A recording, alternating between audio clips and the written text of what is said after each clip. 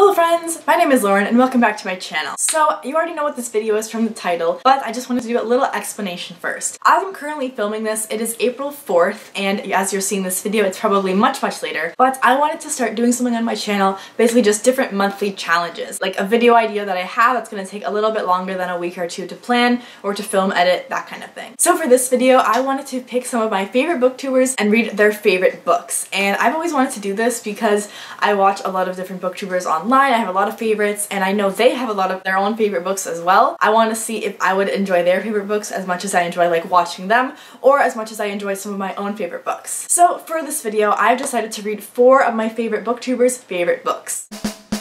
So first up on this list, my first booktuber's book that I'm going to be reading is Jesse from Jesse the Reader. Now his favorite book, if you watch his content, you probably know because he mentions it quite a bit is Miss Peregrine's Home for Peculiar Children. I actually picked up the paperback version of this because I always find it easier to read a paper book versus like an audiobook or an ebook, but I'm going to try to change that up a little bit.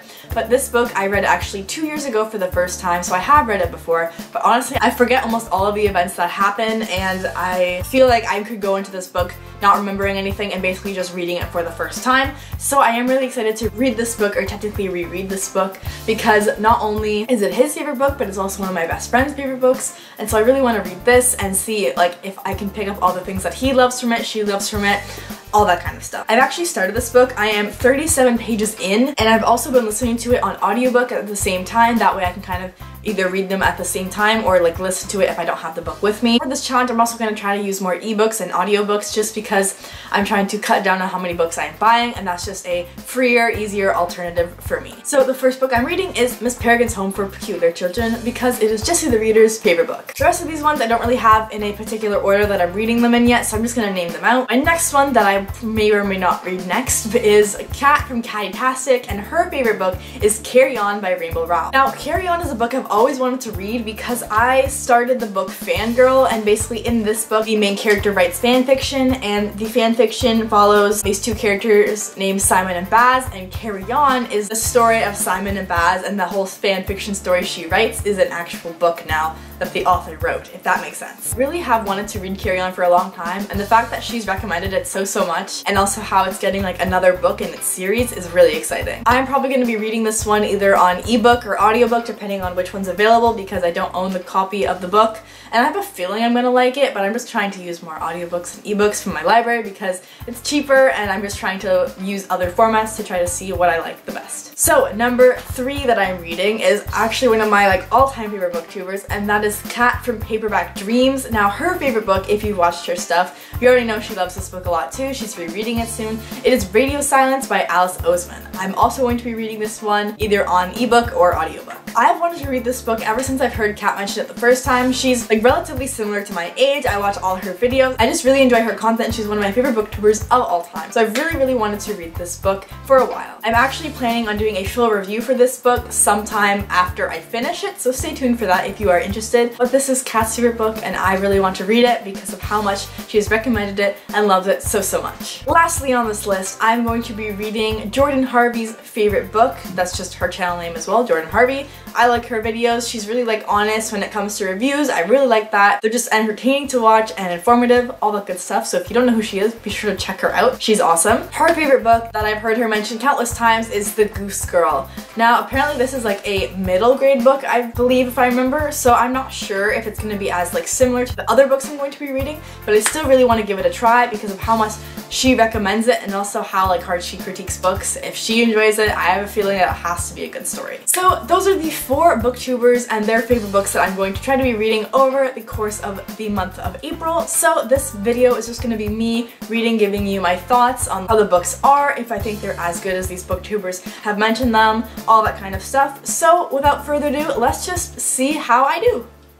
Welcome back. I just wanted to update you guys a little bit on my process and how much I'm enjoying this book so far. I actually am at 329 minutes so far of this audiobook. I believe it's roughly 10 and a half, 11 hours, roughly in that range. And so I'm roughly like a third-ish done, which I'd say is pretty good. And I actually really, really enjoy reading this book, like through an audiobook. I think the experience, while it is a little different, but like it allows me to imagine something so much further because the only thing you hear is like one person's voice throughout the whole thing and you hear other characters' voice through it. You hear the main characters, you hear side characters. This um, book has like a podcast in it so you can hear like the voice changes in the podcast characters, which I find really, really cool. And so, so far from my experience um, listening to radio silence, I would definitely say it's like going really good so far and I'm really really enjoying the characters. I love Frances, she's the main protagonist and I love her like struggles, her thoughts that we get to see from her. I won't spoil too much but just how we get to see like school Frances versus like real Frances I think is really cool because some of her school self is her real self but she tends to hide her real self in her school self if that makes any kind of sense. Overall I'd say my review for uh, Radio Silence is looking pretty good so far so I am really excited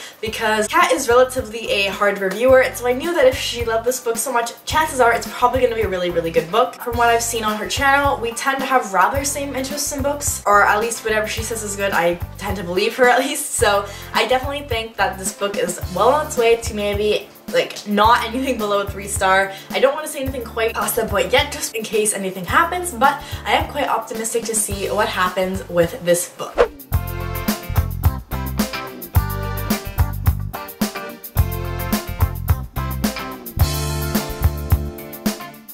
Hello, so it is currently April 21st and about five minutes ago, I finally finished Miss Peregrine's Home for Peculiar Children.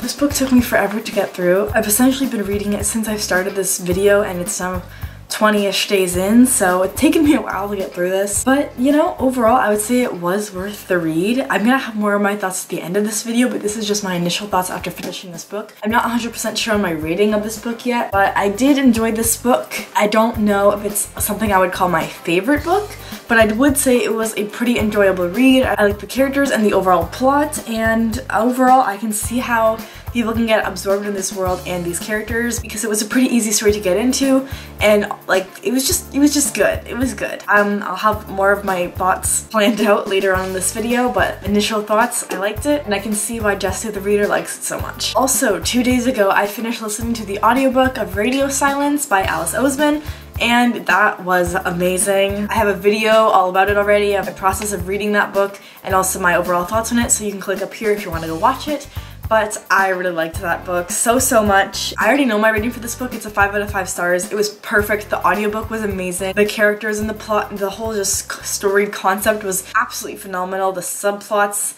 the antagonists, the conflicts, it was great. Highly recommend. Again, if you want to hear more of my thoughts, you can watch that video or just wait till the end of this video to hear them again. But overall, pretty happy with both of these books and I can see why both of these booktubers really enjoy the books. Now I have two more books left, which is The Goose Girl, which is Jordan Harvey's favorite book, and then I have Carry On, which is Kat's favorite book from Katytastic. So those two books are what I have next. So until the next update. Hello, so I just wanted to do a quick update. I am currently listening to the Carry On audiobook, which I am about 8 hours of the way through. I have roughly 5-6 hours left, and I am really, really enjoying it so far. I think I'm to give this book a relatively high rating. Not 100% sure how I feel yet, as I'm not done, but that's to be determined. I am really enjoying this book so far, so Kat, I can definitely understand when you say you love this book, why you love it. I am really enjoying it. I'm really excited for the fact that I can listen to this book on audiobook and still fully understand this like fantasy adventure-esque story. I find that really, really exciting and I am really enjoying it. I also have started reading a couple of pages of The Goose Girl, which is Jordan Harvey's favorite book. However, I'm not 100% sure if I'm going to carry on with that book. Get it? Carry on. Just because I was reading it I didn't really enjoy the writing or the plot very much. Not my cup of tea, but we're gonna see as the few days go on if I'm gonna pick it up and see if I'll read any more, but as of this current moment, I'm not sure how that's gonna go. Let's add this little update on how I'm enjoying everything so far. Alright, so the day I am filming this conclusion is May 1st. It has been one month since I started this challenge, and I'm pretty happy with how this challenge went. I'm really glad that I read some of these books because one, I found some amazing ones, and two, I've always wanted to see like what my favorite like booktubers really enjoyed in a story, and I can kind of understand that just by reading their favorite book, and so I just find that really interesting and like how you can learn so much about a person person or kind of how much you can learn about a person just from reading like their favorite book or like watching their favorite movie or something. So overall I found this challenge kind of really fun to do. But without further ado, let's jump in to how I felt about all these books, all that kind of stuff. Alright, first up, out of the four books I read, in fourth place is The Goose Girl, which is Jordan Harvey's favorite book. I read a bunch of pages of this book, did not like it, and DNF'd it, so did not read it. So can't say much about it, but I didn't really like the writing style plot didn't really intrigue me. There was just other things I wanted to read and my heart just wasn't in the story and I didn't really like want to put a lot of effort into reading that book so for that reason I did not read it and I just kind of put it off to the side and yeah, so moving on to the books that I actually did enjoy, we're just gonna move out of that one. In my third place for the how I enjoyed these books is Miss Peregrine's Home for Peculiar Children, which is Jesse the Reader's favorite book. Now, I was debating between giving this book a 3 or a 3.5. I'm pretty sure I'm gonna give this book a 3 out of 5 stars. While I can appreciate a lot of aspects about this book, such as some interesting plots and characters, I overall did not fully enjoy this book. I was kind of just trying to get myself to push myself to get through the story. I did find the ending though pretty rewarding and I can definitely see like the hook at the end to like make you want to read the next books. However, for me, it just wasn't something I completely fell in love with. I feel like this is like a slightly younger YA book and I didn't necessarily enjoy that for me. I feel like I enjoy other kinds of things within YA and that kind of thing. So for that reason, it just wasn't for me. However, if someone was interested in reading it, I would I would say go for it. It is a solid read. It just wasn't necessarily something for me. And I know so many people love this book and this series, so it definitely is worth reading if you like the synopsis and all that kind of stuff. But just for me personally, I think there's other things I would read before this book again. In my number two spot for how much I enjoyed all these books is Carry On by Rainbow Rowell. This is Katytastic's favorite book and I really, really enjoyed this one. I listened to this book on audiobook. I really, really enjoyed it. I loved our characters. I loved our plot. I'm really excited to see what happens in the next book. It's just been announced that a second book is coming out, uh, coming this September, I believe, so that's exciting. And honestly, this was a great book. If you're if you're a lover of Harry Potter and you're looking for something that's kind of like Harry Potter, but like not Harry Potter, I would definitely try this book out. It follows our two main characters, Simon and Baz. They go to this like magical school and it's just kind of like their adventures and their relationships and everything that just happens um, with these two characters throughout the like the story. I don't know, it's just really good. Check out the synopsis, it's really good. I really enjoyed it. I gave it a 4 out of 5 stars. I thought it really deserved it. It was a great book and I would definitely consider rereading it or listening to the audiobook again or actually buying the book. I don't know. I am excited for the second book and I do think I will be reading it once it comes out. But yeah, if you are interested in reading Carry On and you like everything I've said in this video, be sure to check that book out. I'll also have, again, all my reviews on my Goodreads, so link is down below if you want to check those out. And finally, number one, as you probably already know from this video, is Radio Silence by Alice Oseman. This is Kat from Paperback Dreams' favorite book, and oh my god, it's definitely one of my favorite books now too. And I just, I just love this story so much. I listened to this book on audiobook, and this is the second time that I've ever listened to an audiobook, and it was amazing. After listening to Radio Silence and Carry On, I'm definitely now hooked on audiobooks. I just gotta find like a speaker that like sounds good to me and matches how I think the character sounds. But other than that, I love audiobooks. I think they're really good and a really great way to read. But this audiobook specifically was fabulous. I truly think this is a book that every single high schooler ever could benefit from, or even if you're in elementary school or university, college or whatever, I feel you can benefit from reading this book, not only for the great story that it gave, but also just how much it like shows you that there's other options and that there's not one path you have to do, and if you change your mind about stuff, it's okay.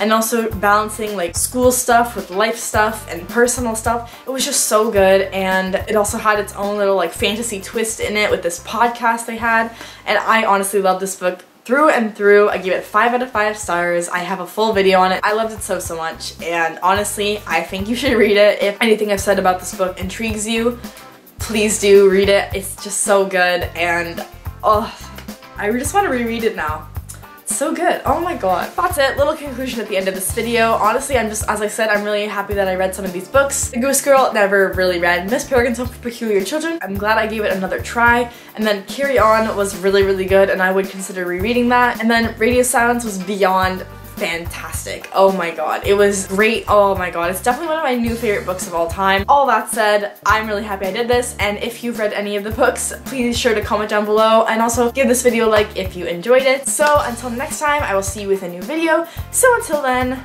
bye.